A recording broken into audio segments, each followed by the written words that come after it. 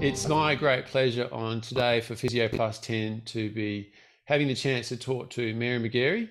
Um, Mary, thank you for joining us. And I always like to start these podcasts by asking the participant why it is they decided to do physio, but you've actually got a bit of a different story, haven't you?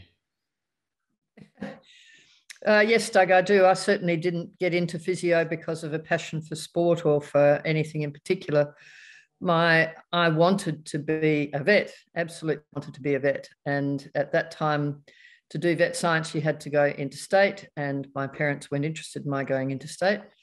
Um, so my next choice was medicine, and my father, who was a doctor, made the comment that he didn't think I had the marks to get into medicine. And so then my mum said, um, "Why don't you do physio? It's such a nice thing for a girl to do. You can continue to work." When you've got married and after you've had babies. Well, that wasn't a particularly attractive reason to go into physio, but my mother was fairly persuasive. Um, and so, with some reluctance, I switched my priorities from medicine one, physio two to the other way around. Um, so, yes, that's how I got into physio. Now, just in, in like in a time scale, is, is this still a time when females were considered appropriate for teaching and nursing, or have we moved out of that era and things are a little bit more broader?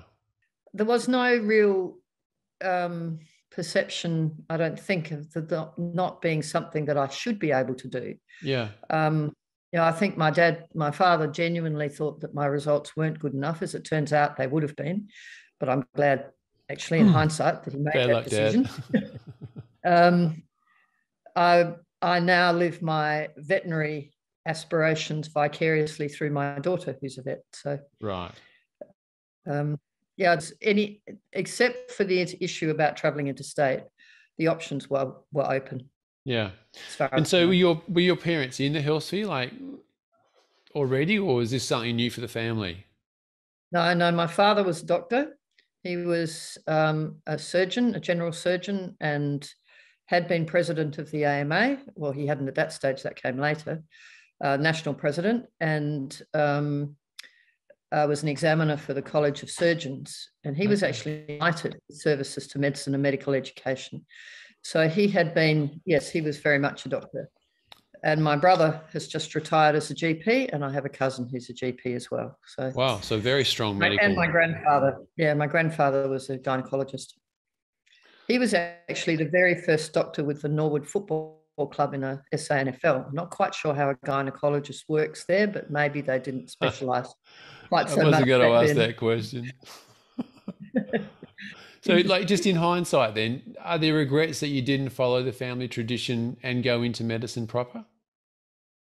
No, no. Um, in fact, I'm very pleased that I ended up in physio. While I didn't think so at the time, I definitely think so now. No, no question about it. And why is that? Why are so um, confident about that answer? Um, I guess it's that's not a question that you have previously thought to ask me.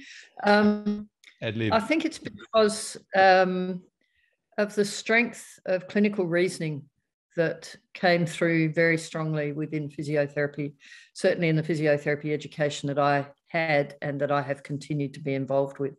And I, without meaning to be disrespectful for the medical profession.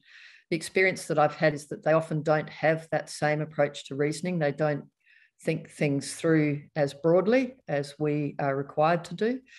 And I find when dealing with doctors in that in that situation that that can be really frustrating. That they're sort of almost tunnel visioned, um, and that can be really destructive for a patient sometimes, and frustrating to work with for us. So yeah, no, I, I, was interested. I know I didn't ask that question to put you on the spot, but I just had suddenly mm-hmm. thought that that's probably something that's important for younger physios to consider because often they, they aspire to physio and they think, oh, this is not enough. I want to go and do medicine. It's almost like medicine is higher in the perspective of, I don't know, in their mind as being more important. But if someone had asked me that question, I would have said, well, I like the independence of being a physio and I like the process of clinical reasoning.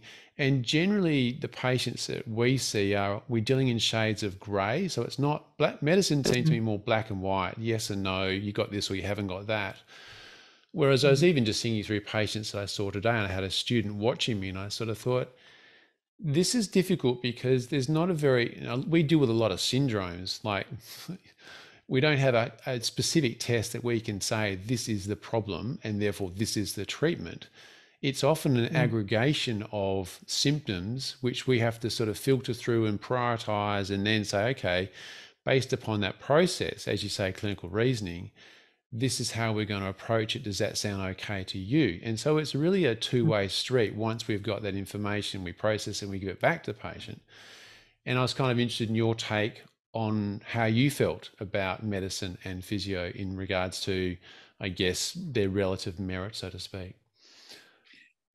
Well, unfortunately, unfortunately, in some ways, I think that we will always be considered um, somewhat lower in the picking order but uh, and I wouldn't, you know, I, I, think I'm being a bit unfair to some branches of medicine. But uh, I mean, I'll use an example of a patient I saw last week for this. She was she actually came to me having already seen two physios. She had been to an orthopedic surgeon who'd sent her to a neurosurgeon who sent her back to the orthopedic surgeon who sent her back to the neurosurgeon.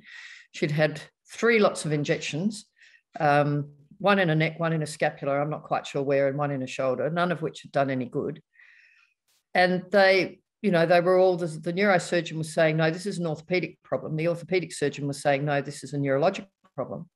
And turned out she had a frozen shoulder. And nobody had actually physically examined her or listened to the clinical pattern to recognize that that's what it sounded like.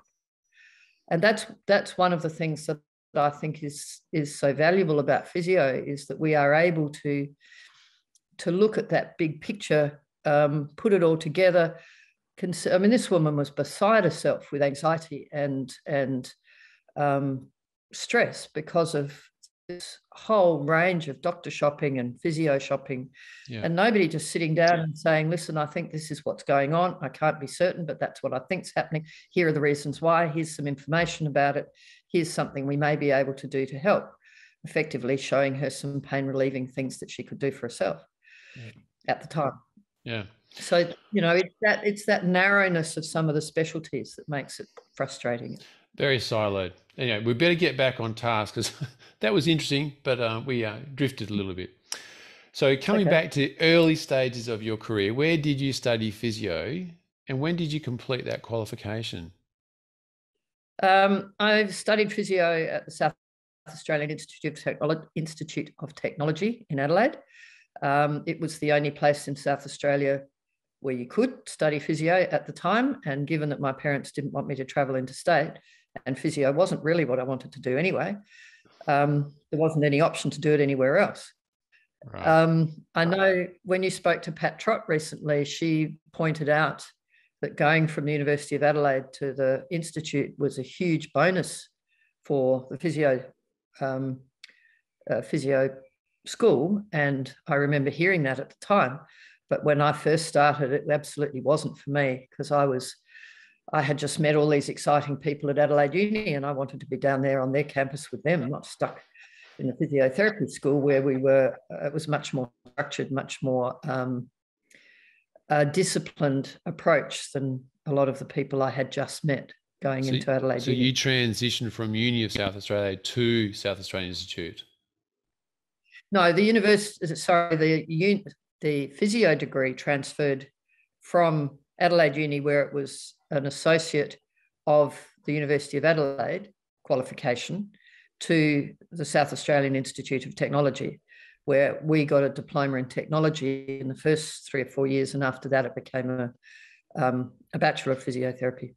Okay, so did you start at one and then transfer to the other, like between? No, I was I was I was in the first year at the at the institute. Ah, so you're the first year going through. Yeah.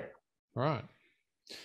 And that would, would have been then a three year, so it was still a diploma or it became a degree? It's a three year and three month sort of transition it was only two years later they made it a master's degree. Oh, sorry, a bachelor degree over the full four four years, but we did we did a diploma. Yeah. And when you finished, uh, like, what do you remember about becoming a physio? Was it the paycheck or was it the status and having graduating? Like, was it in, what, what, what was it for you that was like, wow, now I'm a physio? Um, it's an interesting question. And um, when I thought about it, it had nothing to do with the paycheck. I have no idea why. I have no recollection of getting my first paycheck. The thing that hits me most was that when I, my second to last roster was at the Children's Hospital, and I was always going to be a pediatric physio. Once I decided I liked physio, that's where I was going. But the last, um, the last roster was down at Queen Elizabeth Hospital, which at the time was a really progressive, um, challenging place. And they treated students as adults, whereas at a lot of the other placements, we were treated a little bit like we were still at school. And they challenged us. Uh, I think Pat talked talk to you about Dr. Bunt Burnell, who was a rehabilitation medicine specialist. And he really pushed the physios in his department to challenge the medical diagnosis, to think for ourselves, not just to treat on recipe. And it, it looked like a really exciting place to work. And so I decided that that's where I would I would like to go, and never truly got back to the pediatrics. But um, um, that you know it was it was just before we had right of private practice, uh, sorry, right of independent practice without referral. And Bunt was very much pushing us to think that way, which mm. did cause a few headaches with my father for a while because he had the consideration that he was trained to diagnose, I was trained to treat. So we we had a few arguments, but I won him over in the end. Interesting dinner conversations, were they? Yeah, yeah.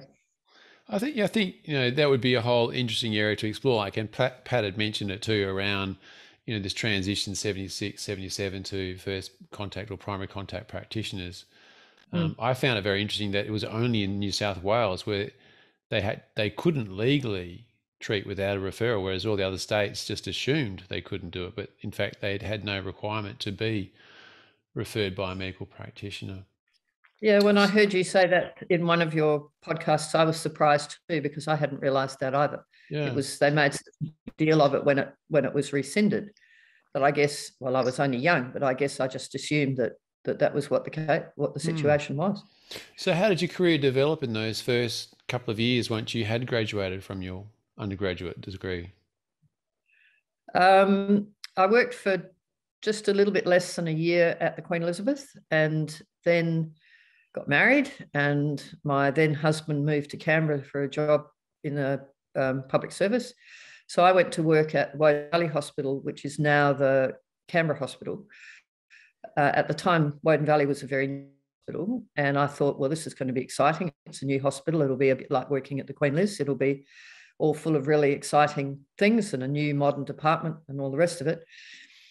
And it absolutely was not. Yes, it was a new modern department, but as a place to work for a new grad who had come out of a program as biased by manual therapy and people like Geoff Maitland and Pat Trott to somewhere where the majority of the people were trained elsewhere, the very, very different philosophy, I absolutely hated it. Mm. I nobody would help me um, to deal with patients I couldn't sort out for myself. I'm not sure whether they didn't know how to or whether it was just because the way I went about it was different to what they knew. But the standard process in outpatients was we had a one room, small room with five shortwave diathermy machines in it. And you would book a shortwave diathermy machine and you would put the shortwave on whichever body part the patient came in with that was a problem. Yeah. That was the expectation. I couldn't handle that. I just could not handle it at all. So I hated it and got desperately, desperately homesick physio wise. Mm. Um, because I just felt I, I just I needed to be back in that environment, or I felt I needed to be back in that environment of the sort of assess, reassess, critical thinking that had been ingrained in us right from the beginning because of Geoff and Pat's influence in the physio school all the way through. I think that's that's a key point just to point out how different the I guess the practice of physiotherapy was being performed at that stage around Australia. Like there were very much pockets of higher re- higher clinical reasoning, test retest, um, as opposed to, and I can remember even going on a clinical prac down here at Fremantle Hospital, and in the outpatient, it was like six six curtain off bed bed, so to speak. But in about mm. three of them, they're all just full of shortwave diathermy machines, and you'd wheel them out, and there was like only two or three beds for treatment because there was so much electro equipment. Mm. And eh, then you go to a private practice for a clinic, and there'd be no shortwave diathermy, and there'd be a completely different almost you know a Maitland based approach on how you would assess and then reassess and the clinical reasoning was an important part so it was very much a transition period i'm guessing in the sort of the the late 70s and the early 80s until more of this emanated throughout the whole of the physio programs yeah and to be fair i don't want to be disrespectful to those colleagues from Woden Valley at the time there was a lot of physio that they had been taught that was very different to what we had and was a lot more advanced than we had in other areas. Yeah. But I spent most of my time in in outpatients uh, or in the pool, so um, I, I didn't get exposed to a lot of that. But there were definitely areas that they were way better than I was. Yeah. I just oh, and that's fine. I think it's just as you say, in your area of interest, it wasn't a, a blossoming thing at that point in time. So you mentioned you became homesick for physio. Is that when you came uh, came back to South Australia and did postgrad? Yeah, I um, I was still getting the newsletters from the South Australian branch of the APA, and I saw the advertisement for the graduate diploma and applied. I can't even remember whether I asked my husband if I could. I think I just did it. I wasn't expecting to get in because I didn't have the full two years of experience. So when the when it came back that I had got in, um, I can remember opening the letter and sitting on the doorstep and bawling my eyes out. I was so excited. Um, so yeah, we came back at that point. He transferred to the equivalent position here, and um, I got on with with the what was then a graduate diploma, not a master's. And this you accepted into at the time was it the APA three month program or was it the new twelve month program? It was the new twelve month program. I um, Pat and a couple of others did the first year of that, and I was part of the second year. So we had the first three months, we worked on peripheral techniques and peripheral patients, patients with peripheral problems. We learned every single technique from Geoff by him teaching it, by doing it on each of us, and then us repeating it on him. And we wouldn't, he wouldn't let us move on to the next technique until he was satisfied that we could do it properly. And it's an extraordinary way to learn manual handling skills from somebody like him. Yeah. So that was the first three months. All the patients we saw had peripheral problems or was supposed to have peripheral problems. And then the second three months, we joined in with the APA spinal manipulation course. And at that point, 12 of 12 others from that group joined us for that three months. Yeah. And obviously the, the clinical tutor ratio expanded from just Geoff to because uh, there were only three of us out to there were 15 of us so there were five tutors um, and um, then we went back in the last three months to just Geoff and they did send down Claire Everson, who was a, um, a, a PNF expert to work with us at the Queen we the roster was down at the Queen Elizabeth again thinking that maybe they should keep us not too focused on manual therapy but she abandoned us after three weeks. Said our handling for PNF was so hopeless. It was she we were just wasting her time. So hopeless. So hopeless. Yes. Okay, so being a student of both Geoff and Pat during that twelve month period, how would you say mm-hmm. they were different as tutors? Oh, they were very different as tutors. The other thing I'd say is that in that three month course, we were also tutored by Brian Edwards. Oh, okay. So we were incredibly lucky that Brian had been on study leave and he'd gone off to Norway to work with Freddy Kaltenborn. Had a, I gather, a humdinger argument with Freddy because they didn't see eye to eye about how they went about things. Came back to Australia and was at a loose end. So Geoff snapped him up to teach on the three month course. So we had Geoff, Pat, and Brian, and um, two other two others, I think, who were graduates of the three month course. Um, but so there were five tutors. So yes, that's right. And the three of them were very different. Geoff, I mean, the, the way to probably explain that best, um, Brian was very much more biomechanically oriented uh, because you've got a much stronger biomechanical background in yeah. Perth than we ever had. Um, Geoff was much more symptom focused, signs and symptoms, listening to the patient, uh, establishing the patient story and that reasoning approach. Pat was more diagnostically oriented. She would still she she was obviously very much in the same line as as Geoff, but um, for example, we all knew that if we had Brian in an exam, we needed to do PIVMs for our clinical stuff. For Geoff, it was PAVMs. For Pat, she would ask you at the end, well, what do you think the diagnosis is? And um, which the other two didn't at all. So Pat was was a bit more black and white, straight up and down. No, and that's not being disrespectful. She was just that little oh, bit different. different. And um, but uh, yeah, there was some interesting differences between the the three of them. Yeah. And Brian, Brian came out in the middle of one of our sessions and saying, in really, I think Brian would be the only person who could say it, even back then, that he felt there was no place for women in manual therapy. or in tiger moths either, probably. Probably not. No, he. I asked if he'd take me up in it one day, and he said no. so, what sort of concepts do you think of Geoff's are just as relevant today as perhaps they were when you first learnt them? Uh, well, you listen to some of the people who have swung the pendulum a very long way in the opposite direction, and they would say that almost anything that Geoff came out with was bullshit, and that makes me really sad because I think the profession is doing itself a disservice if we swing that pendulum too far because there are so many things that are just as relevant now as were back then.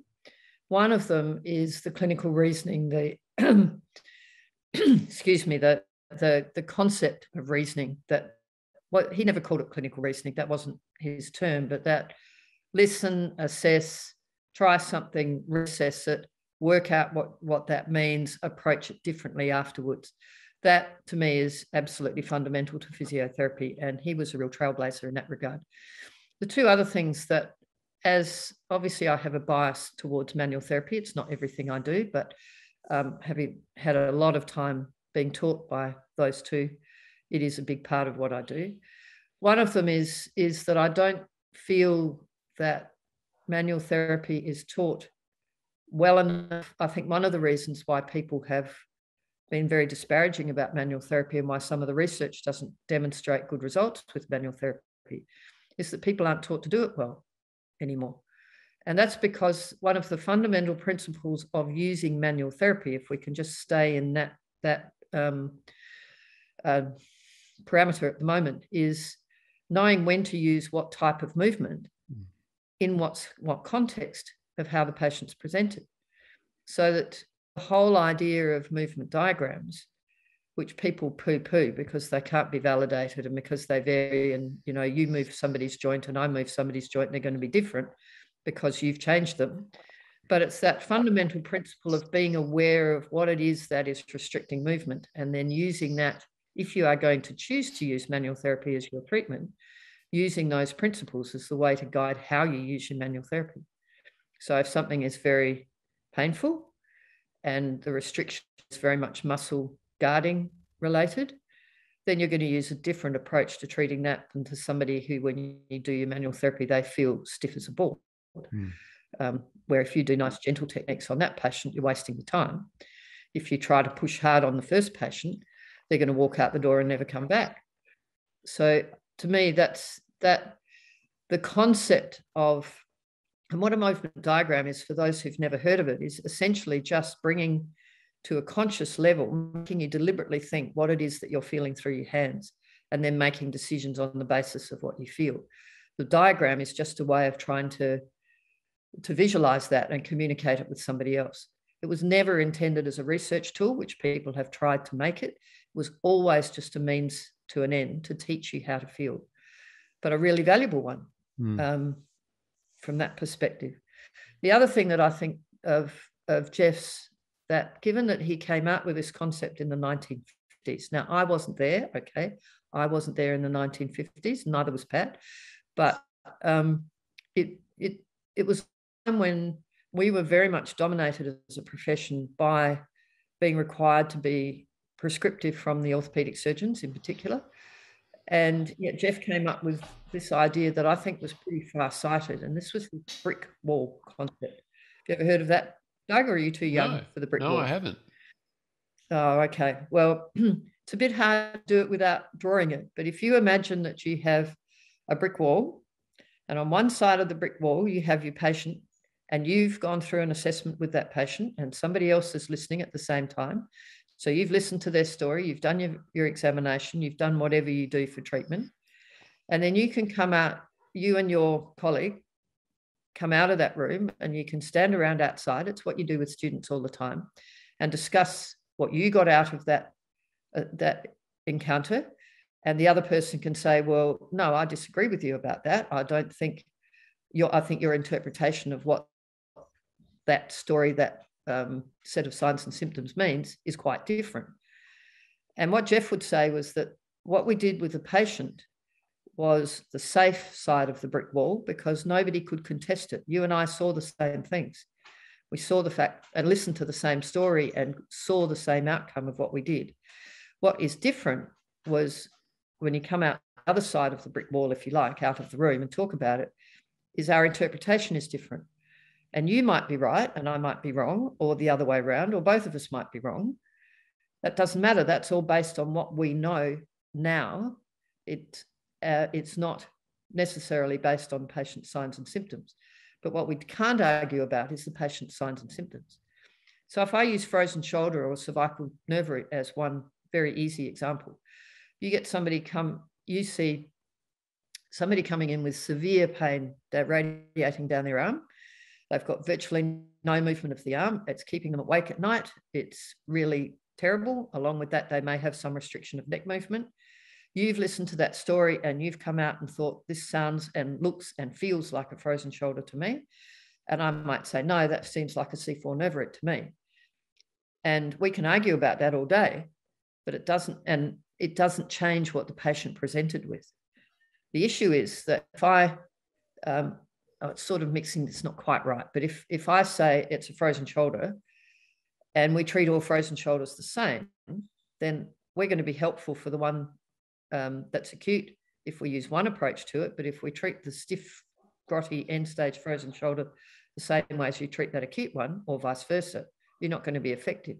And it's the big thing was that we were the two of us, or the people who come out of that room and argue or discuss what's going on, what they think is, is happening, and what might be an appropriate approach to, treatment.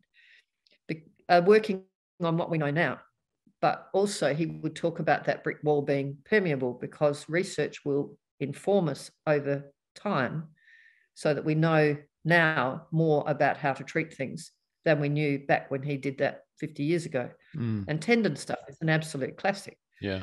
That you know, we've known about tendon for a long time, but we now have directed ways of treating them that we never had in the past. And that's because the research has has given us opportunities to make that direct link. Yeah. So it stops you being recipe based. It stops it stops you being um, um, sort of it, it opens your mind to what the patient is telling you and what you are observing rather than thinking purely diagnostically. Yeah. Does that I described that well enough? Yeah, I yeah, I think so. well, I've ne- I've not heard the concept, which is kind of interesting in a way, but I understand what you're saying is that the signs and symptoms as recorded by the patient are the absolute truth because that's what the source of information is. And then the two mm. clinicians that are listening to it, they are basically filtering it from their experience, understanding, and knowledge. And then when they have a Yes. conversation, that's when the interpretation is different. But the actual source of this, the source of the knowledge is the same. And I think that's where education can come into play. Like the two clinicians need to talk together and say, well, the, and this is again clinical reasoning, because I heard this, this, and this, and this, it points me in this direction. And you heard that and that and that. And I know I would be, again, having a new physio in our clinic in the last couple of weeks. It's made me realize how much of an emphasis I have diving into their sleep profile, their sleep pattern, their quality of sleep. That's just something I have a strong interest in. And I can see in talking to this new physio, it's just not on their radar whatsoever. Yeah. And yet, Yeah. for me, it probably informs, I don't know, 40 or 50% of my clinical practice, how I would manage patients. And it didn't 10 years ago. So, as yeah, I can see what you're saying that as we develop more understanding and awareness and knowledge, it changes the way, and I, I just think it as filtering. It just filters how we see information and how important it is to us. And another person hmm. might hear something and they'll completely discard it. But I would jump on that and say, hang on, that's critical information they've just given us because of my past experience. So I think, is Yeah. that what you're saying? Yeah, more or less. It was probably back then a little bit simpler, but the principle is exactly the same. Oh, and I think we've got to take hats off to Geoff too, because it's it's oh. as you say, Tenen. It's easy to say that now, but you know, sixty years ago, this was a radical idea. So it's always trying to be important to put it into context as well. And he was operating by himself largely, oh. whereas we have a whole field of professional physios that have got a wealth of knowledge and research, and we have a flexibility and permeability of knowledge now. As but back then, he would have been really working on this pretty hard himself. So, given the Yeah, and- precise, sorry. Sorry, go on. No, no. I was just going to say that the focus very much was on diagnosis. And because of who he was, he was working predominantly with the orthopedic surgeons Yeah. and neurosurgeons. But neurosurgeons didn't do the fancy stuff they do these days. Yeah. So, given the precise and I guess very exacting nature of Geoff and also Pat in their questioning as instructors, how did that shape the way you became as a clinician, do you think? Yes, it definitely did. I because they were such a big part of who I was taught by. I really don't think there was anybody much else who influenced influenced me. I mean, they were Geoff. uh, Pat was my very first clinical tutor in second year. Um, um, Geoff and Pat taught me in the MANIPS roster in third year. We had both of them, but Geoff more than Pat in our postgrad year. And then I taught alongside both of them, Geoff probably more than Pat initially. Geoff for 10 years and then Pat overall for 25 years. So there really wasn't anybody else much who who Mm. did influence me Yeah. in those days. And once you'd finished this postgrad program, did you go on into clinical practice then, or did you actually stay on and become part of the teaching staff? I did both. I started working in a, a practice part time and teaching half, so half and half. Um, and that went on for several years. And then um, I was struggling with running a private practice, being a primary primary wage earner, having a child, and working in the school. And so swapped over, and from then on was predominantly in the school, but always doing clinical supervision with the students and bits and pieces of private practice at the same time here and there. Right. Always, you know, it was a mixed role, clinical and teaching in the Yeah. school. So, how long were you then at? I guess this is now Uni SA. How long were you there Yeah. for, and when did you finish up? Um, I was officially there for 37 years, Doug, and um, Wow. I took the early retirement package. That's starting from that very first, you know, when it was still the Institute of Technology. Um, finished officially to retirement package in 2014, but I'm an adjunct, so I still do teaching on a um, sort of on and off basis and that's a way of being able to maintain access to the library, which is is the main reason why I would do it. Plus, I enjoy the teaching. I enjoy the contact with the students. So Yeah, and this would be teaching on the master's probe in, in musculoskeletal Yeah. physiotherapy. Yeah, musculoskeletal and sport. they've combined the two now, have they? Well, no, we combined them in 2003, I think it was, and since 2013, uh, 2015, they've separated them out again so that um, you can do a master of one or the other, or a combined lot similar to what you, can do through UQ. Yeah. Okay. So you have to do an extra semester if you want to do the second one. Right. So we've talked about your MANIPS career. I mean, which that also we should say culminated in you completing a specialisation in 2008. But you've kind of become renowned about the area of the shoulder complex. So how did your interest in sports physiotherapy develop? Well, the interest in, I'll come back to the interest in the shoulder um, because that wasn't always sport related. It, it, I guess the reason I got into the research was, but um, the sports physio, I was an athlete myself. I was a reasonably high level squash player and hockey player. Um, so I had a I had a real interest in sport in general. Uh, there really wasn't any formal or, or really much of a push in sports physiotherapy in South Australia at the time. There were a couple of really good sports physios, Max Fitzner being one of them, who worked with the cricket and and um, oh, whatever football team was around at the time. Um, I can't quite remember who Norwood I think he probably worked with, but he might shoot me down in flames. Um, but there wasn't a lot of, of sports physio as such, like there was in the eastern states in particular.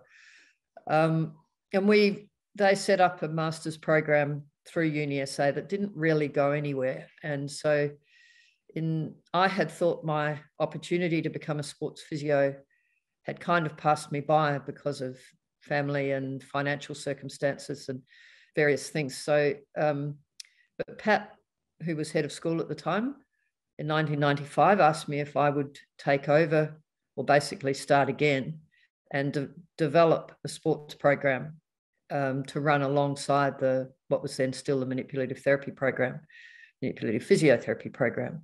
And so I had a year to establish that program, and I did as much as I could, learning from as many people as I could about how to do that.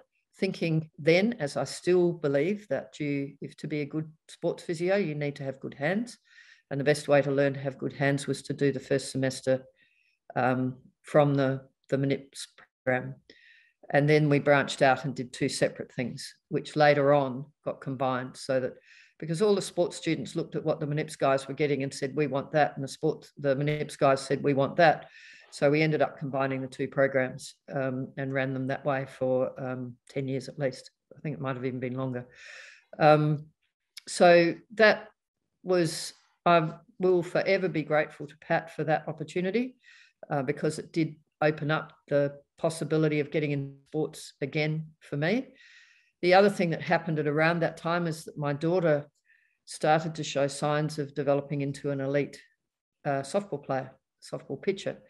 And so I started to get involved with working with her state level teams um, as the team physio and um, persuaded the then CEO of Softball Australia when they had a first uh, friendship, junior friendship series in Sydney at the Olympic Park in Blacktown, where they took um, 40 girls and 40 boys, I think it was, I can't quite remember, into this camp to give them sort of advanced training and give them the opportunity to play in mixed teams, not mixed as in girls and boys, but teams with people from other states and the like. And I rang him up and somewhat precociously tried persuaded him that he needed a physiotherapy therapist there because my daughter was going. And um, he didn't think he did at the time. I ended up treating more than 40 kids a day for that 10 days with no equipment, no, just a, you know, a portable bed in a tiny room in the bottom of the, the stadium. It was absolutely freezing and it was the middle of July. And um, learnt so, because I then ended up doing that for the next 14 years. Mm. And the process that we used obviously developed over time, but it was a fabulous way to learn quick thinking, pattern recognition, um, how to treat people with nothing but your hands and tape and ice. Um, and um, really good way to learn that kind of on the ground sports physio. And we actually turned it into um, one of the things that our students had to do in their, their practical exams was give them a 10 minute assessment. Right, you've got 10 minutes to make a decision about this situation or that situation. And we used to practice them in class as well so that they had to, it was all about pattern recognition mm. and um, therefore being able to really target what you were looking for and not panic, um, which is what a lot of the students would do. And what I did in that first couple of years. Yeah. And so I you... then went to the Common Games with um, in 2006. So that was another highlight. Yeah. So your PhD, though, it was in the shoulder, wasn't it? PhD was in the shoulder, yes. And that stemmed, well, actually, at the time I was really interested in, in trying to validate the clinical patterns that we worked with in different areas. And the two areas I was interested in, one was lumbar spine and the other was the shoulder. And I spoke to my good friend Gwen Jull, who was on that three month MANIPS course the year I did the 12 month course, and then came back the following year. Um, so I rang Gwen and said, This is what I'm thinking. What do you think? And she said, Well, we've got a whole bunch of people starting to do really exciting work on the lumbar spine, and I'm not aware of everybody doing anything in the shoulder. So why don't you why don't you go with the shoulder, which suited me fine because I had a real interest in the shoulder. So that was kind of where it started. But it was the the plan was to work on um, trying to see how accurate we could be with a physiotherapy assessment in terms of what the diagnosis was. Remember, this was when we were still very much mechanistically oriented. Um, but the real interest was to turn that around and say, okay, if you have this set of signs and symptoms that you see clinically, is there any way we can validate those patterns on what is seen arthroscopically? And arthroscop- arthroscopy was still very new for the shoulder at that time. Yeah. So that was the plan. That bit never happened because unfortunately the statistical power wasn't available. Something would be really easy to do now, but as it turned out back then, it wasn't. So um, the the um, research became one of um, assessing my ability to diagnose um, against what was found at arthroscopy and comparing my diagnosis from my examination with what the surgeons did. And I was blinded to their, their clinical diagnosis. I didn't know the imaging. I didn't know what they thought. All I knew was that they had considered the patient was suitable for arthroscopy. And were there so things from that research that you think clinicians could take home now based upon your um, findings? Yes, yes I do. Um, and even though life has changed in terms of what we now know compared to back then, which goes back to the brick wall a bit, um, the pedantry of a really thorough examination, looking beyond just the obvious area that may you may consider is the source of symptoms. Um, looking at the big picture, while I mean, I did a, an examination of the whole complex. We then realised we could only actually compare against what surgeons were looking at in the, you know, with the arthroscope. But looking beyond, sort of really understanding the biomechanics and the the anatomical structure and therefore the function of all the tissues around there and how they are integrated with the scapula, with the cervical spine, with the um, thoracic spine and all the associated muscles um, as a way of, of looking at people with who are coming in with what sounds like a nociceptive local shoulder problem or, or shoulder as opposed to, sorry, shoulder complex as opposed to something that's being dominated by, by non-nociceptive um, components. You, if you are prepared to look beyond the shoulder joint, the glenohumeral joint and the rotator cuff, which seems to be what the, doctors will focus on. Um, there's so much we have to offer these people. Um, but the patients that often come to me who have seen other physios have been given rotator cuff exercises as rotation against TheraBand with the arm by the side. Have they given you anything else? Did they look at your neck? Did they look at your shoulder blade? Did they do any of no, none of mm. that and that's that's really frustrating to me because there is so much we can do for these people um, and if you combine your knowledge of pain science and, and the brain's influence on all of this and incorporate that as well there's you know there's an awful lot based on what i learned back then that is really valuable still yeah I think it is, is probably worth mentioning here that you're coming across to Perth in 2022 to do a course on this specific topic. So for those that are listening that want to want- get a face-to-face um, injection of energy, understanding, and research-based treatment management plans, um, sign up with um, the course that we're organising for 2022 in Perth, and it's going to be a chance for people to actually sort of see that in action. I think that's pretty special. So. Um, so, Doug, because I hope the plan, the plan, as we talked about, was to try to make this case based. Yes. So that we we are looking at the reasoning and the the differences in people who present in different ways rather than it just being, well, here is how you can do it. Go away. It's it's trying to make it relevant to to so people have got something they can genuinely take back to work on Monday morning. Yeah. So, in addition to completing your specialisation in 2008, you did 2009. You did your sports specialisation. Is there plans for a trifecta? Do you want to go for a third one? Uh, no. Pediatrics, perhaps. No, I did. Um, remember, I actually failed my first sports exam, so I had to go back and redo that. That was an incredibly traumatic experience for somebody who was running a sports program to fail that sports exam was fairly humiliating. There was a lot of stuff going on with that exam round that we won't go into, but um, I a lot to go back and redo it. And when I made that decision, in conjunction with Karen Faulkner, who I hope your listeners will be aware of. If not, you need to interview Karen, Doug. Uh, she is amazing. She's the best student out of our sports program we ever had. Um, so um, Karen was at the time working with the Olympic uh, at the AIS with with um, the Olympic gymnastics program. So for them to fail Karen and fail me, among others, was red rag to a bull to me. And the mother hen instinct of looking after your students um, came through. And we decided almost at the same moment, having been really disillusioned, that we would go back and do it again. And having made that decision, I did everything I possibly could to reflect on what I could have done better, that maybe was the reason why I had failed, because you didn't get any feedback back then. And um, took that very big breath and sat again. And uh, to me, that's my trifecta. I'm not going back to do anything like that again. Yeah, well, it is. It's a huge thing. It's K2 Everest then back up to Everest again. And really, it's a the, the specialization is a massive process, and it's it's it's a it's a tough gig. And particularly, I had a stumbling block there as well. And I remember thinking, yeah, big breath come on, you can do this. It's you know you're two thirds of the way there. It's you just got to push on. And I think there are time, and then and then you look back on it and you go, well, I'm really glad I did it.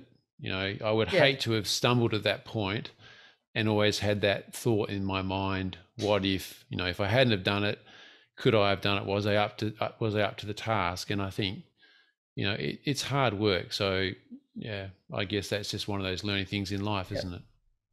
That's exactly the way I felt. I when we both Karen and I made the decision, it was exactly that, that we felt we would have failed ourselves if we hadn't gone back and tried again. If mm. we'd tried again and failed again, well, then you've got to, you've got some pretty hard lessons to learn. But yeah. um, it was an enormously empowering thing to do, but an absolutely terrifying thing to do. It is like, I, yeah, all right, we won't go any further. So staying with the specialization. um, and therefore so the College of Physiotherapists. You've now gone on and become involved, you know, not only as a participant but as a facilitator and a mentor to participants and and the chief censor of the college as well. So you've really got in there with gumboots kicking, and you you know this. Vice you know, president for a while too. Yeah, you know that you know the process now inside out. What's mm. your current role with the college? My current role is as chair of the credentialing standing committee. We now have a series of standing committees that um, are, that work underneath the College Council, and each of the chairs of those standing committees is a member of council. And so that's a process that's been in place for the last two years, with the year before that sort of an interim period while we were sorting out exactly what we needed and what, what each of those standing committees would be doing. Um, so credentialing will be uh, responsible for the assessment of candidates or people working towards um, going through the career pathway and then once they apply for uh, entry into the specialization training program though that part of what we hasn't actually been um, developed yet because we're waiting for sean o'leary's um, standing committee which is the fellowship program standing committee to finalize the new training program, specialization training program. So we've been working up to what they're calling milestone three of the career pathway up till now. Yeah. And we have just had a really innovative, far sighted um, recommendation for an assessment process for up to milestone three that will be able to roll over to milestone four, accepted by College Council literally just three weeks ago. And Richard Newsham West, who's vice chair of the standing committee, who now um, is in charge of the the new La Trobe Masters programs, which uh, will be substantially revised or are being substantially revised. He chaired the, the working party that put that together, and he's very much up with um, modern assessment um, processes. And he had a fantastic group of people on his working party, including your friend Gwen Jull, my friend Gwen Jull. And um, they've come up with a, a fantastic thing. So that's a that for this year has been what we've been doing predominantly is working through through that assessment process that has just been accepted by the college. So that's that's my role at the moment is chairing that standing committee. Yeah. And where do you see the college going sort of in the next five years? Because obviously this is an important part of our profession and I guess sharpening the, the point of the profession as far as its quality perception within the public and also uh, medical profession in a way, isn't it? Yeah, uh, yes, it is. Um, this answer is going to have to go a little bit further than just where the college is going because the college is working uh, very closely with the APA to develop a new career pathway for physios from when they graduate right up, if they're interested to go that far, all the way up to fellowship. And so the career pathways, um, it's not actually been totally signed off on yet, if that's correct English, but what we're looking at is that there are four milestones that you have to achieve. There's been a lot of work to develop this career pathway with um, um, the APA um, commissioning work from workforce. I can't remember what their other name is, but it's it was a combination of Wendy Nixon, um, Megan Dalton, and Megan Davidson, who who developed the career pathway that was based on the CanMEDS model, which don't ask me to go into, but it's Anyway, so they developed this career pathway that involves four levels, with milestone one being essentially the first thing you would do when you come out of, of physio school. Milestone two is sort of if you if you think of it a little bit like level one, level two sports courses, but it's much broader than that. But that gives you that sort of concept. Um, and then milestone three is actually not what we're currently calling titling. It's it's a higher level than that, but that is all in the process of of changing. And that's the level where you would be able to apply to come into the fellowship training program. Okay. So that the idea is that we will hopefully capture young physios as they leave, um, as they graduate. And I'm hoping that this concept be embedded into the undergraduate program as well, so that all the way through their training, physios learn like the med, like the medicos do that you're not going to be able to solve everybody's problem the day you you graduate from school. You're going to have to go on and do further training, further gain further experience, explore where you want to go with your your professional interests, and then take a pathway towards that. And that would be the expectation when you leave, um, when you leave, when you graduate. And that's what the career pathway is all about.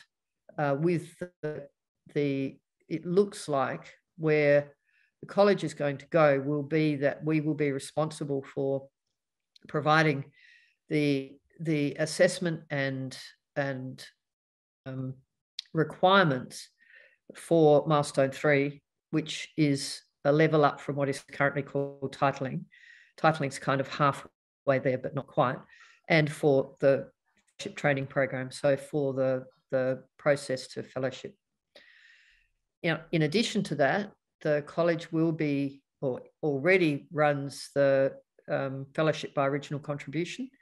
And that process is looking to be changed to become a fellowship by research, which will allow you to be a fellow of the College of Physiotherapists in brackets research rather than in brackets original contribution. You can't call yourself a specialist because you don't have those special skills, but you are still a fellow and your high level of research skills would be acknowledged in that way. And there are a couple of other pathways that are being developed at the moment.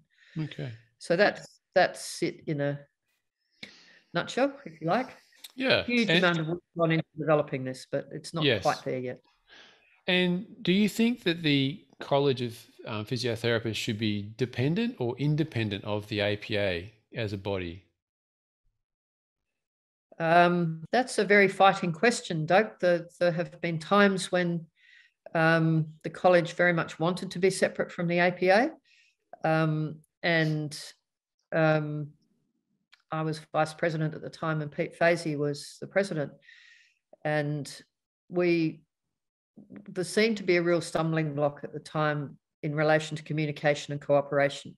And that um, it, it, became fairly obvious that there was no way that if the college wanted to do what we wanted to do, we couldn't do it without strong interaction with the APA and without support and funding through the APA.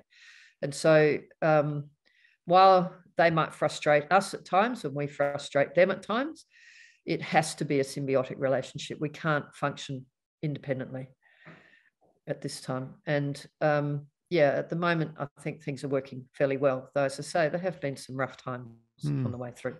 So, if it's if it's mainly a funding thing, would that be something that the college would possibly consider in the future when you have more members, um, more membership coming in to have an independent role? So you're not sort of influenced by an external body when you're trying to be independent in, say, credentialing?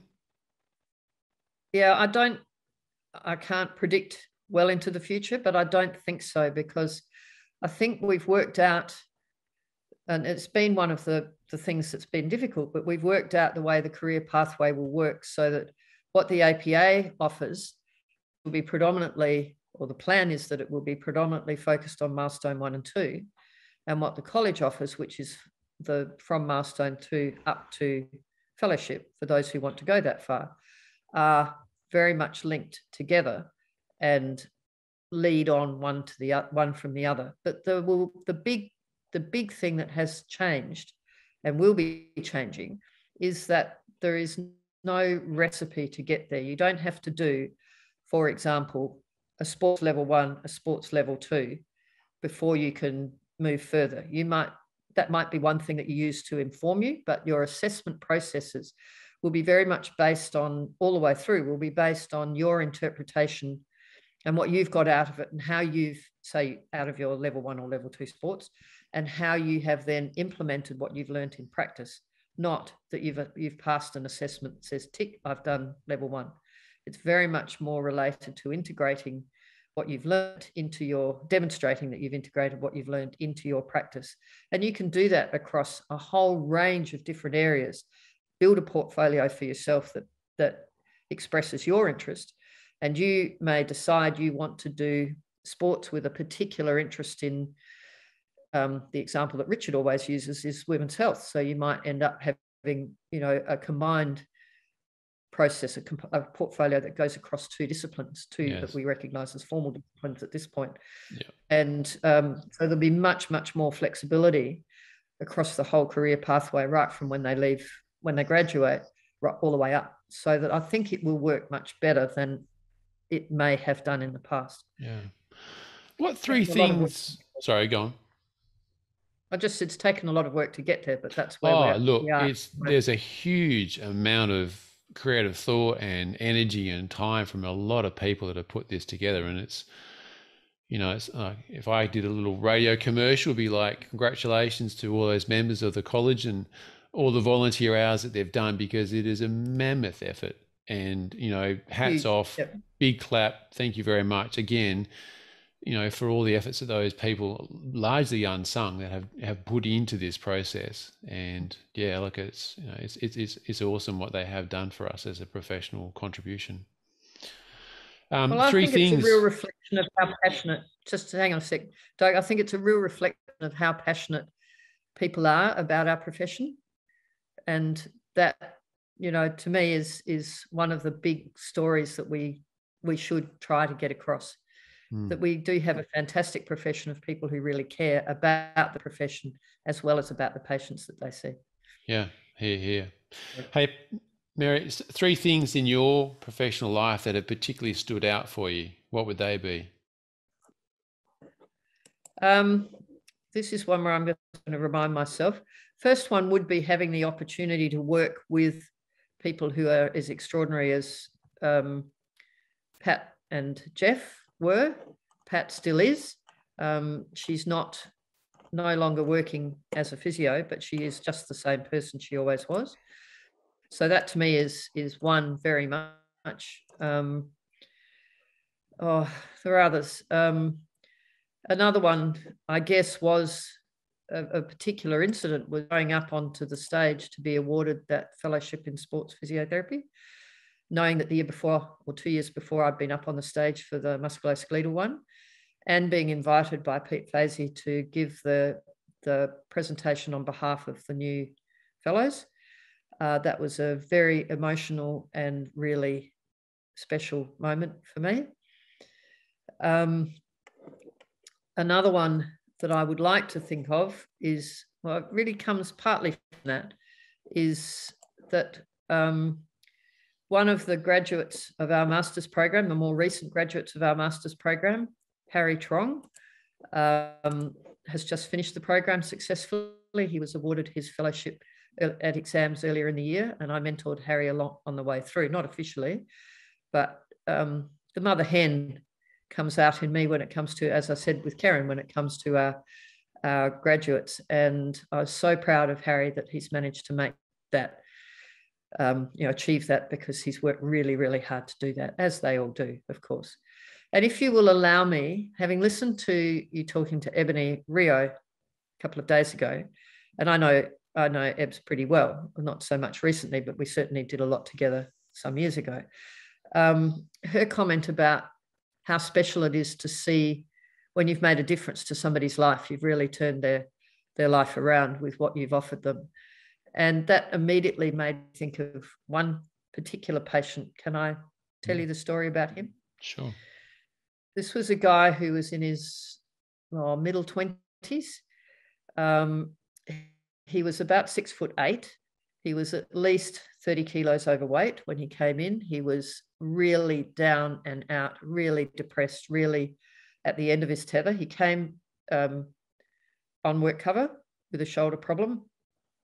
And his story was that he had been working as um, um, in security at one of the big places in town and had had an incident where um, one of the patrons had he had been having to manhandle her to try to get her out of the building because she was drunk.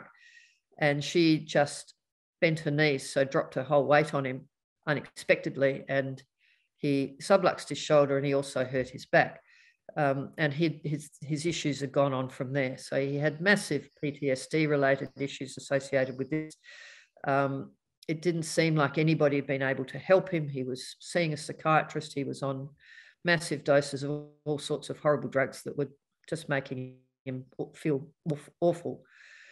And I'm not quite sure why he ended up with me, but I very quickly realized that that he was so hypermobile and so deconditioned and so dysfunctional that there was nothing nothing physical that in terms of any sort of hands-on or any kind of subtle exercise that I could give him.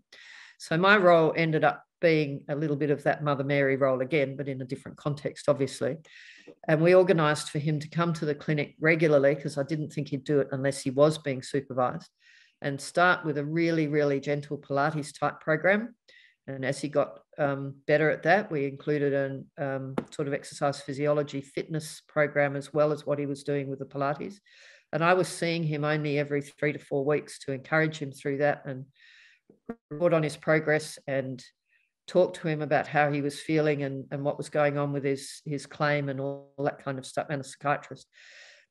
And he ended up, so I did, I, I really was fulfilling the role as a specialist and sort of sending him off to other people with the relevant expertise to help him.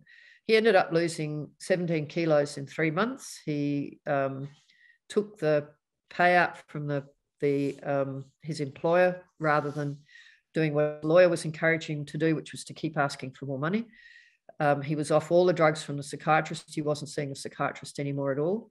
And he ended up with a job working as a security officer for one of those mobile people who goes around checking buildings at night. So because he was doing it all at night, he was earning twice as much money. He didn't have any of that baggage and ended up as there's a whole lot more to the story, but that's that's enough. Ended up mm. as a, a really positive, functioning individual out in the world. And because he was so down out when we started, that was a you know he's one that is an exemplar for those patients that give you that real thrill. Yeah, you've really helped them turn around their life, and you can see the outcome of that being very positive. Yeah. Yeah. No, it's cool. Hey, if you could step back to your younger self, are there three bits of advice that you'd like to pass on? Yes, there are, and I would again struggle with making them only three. Sorry. Um, but the big one is um, well, the very first thing that I had written down when you, you asked me this question in preparation is ex- almost exactly word for word what Ebonie said to you about um, if you don't like your first job, don't give up the career, give up the job, look for something else. There is so much within physiotherapy, such breadth of opportunities within physiotherapy that um, if your first job isn't right, it's not the profession, it's the the person and the job, the person giving you the job. So the the young physios who go straight out into private practice and happen to end up in a practice where they're not being looked after as well as they should be. They're given short appointments to deal with patients in a back room with no PD and then expected to go out and work for sports teams after after hours at no extra pay. They're the ones that seem to burn out. And I can completely understand why. My advice to them is get out of that practice, do your home, do your homework first, maybe, and work out where else you might want to be, whether it's a different practice, whether it's a different area of physiotherapy, whatever it is. Oops, sorry about the dog. Um, don't um, give up on our profession because it is it just is such a good profession. You left school as one of the brightest, leaving school to get into physio. Use that that intelligence to get you where you need to go. And as we talked about earlier, medicine isn't necessarily better than physio. I think our way of thinking is so much more stimulating than what we see in a lot of the medicos, which is being my father will probably shoot me, but that's okay. He's not here to do that. um, so that's that's one. Um, the second one that I would say is you don't become a physio to become financially rich. You become a physio because you really care about other people. And when things are becoming disillusioning, don't forget that. It's that passion for looking, for working with people, for helping them, for helping them achieve their goals. That is what you became a physio for, or what, what I would think you become a physio for. And I guess one of the others is that that mentoring, um, finding yourself a good mentor who might be somewhere close to you in age or in experience, like Ebonie suggested the other night, or it may be somebody who's been around longer than that, or it might be both. But finding yourself a mentor who can help you on the way through, help you decide where you want to go with your career, and help you out all the way through. Pat Trott, my mentor, ever, since I graduated effectively, and you could not, she could not have had a stronger influence on not just my physio, but on all aspects of my life. She has been fantastic. Mm. So there you go. That's three. I'll leave it at that. That's awesome.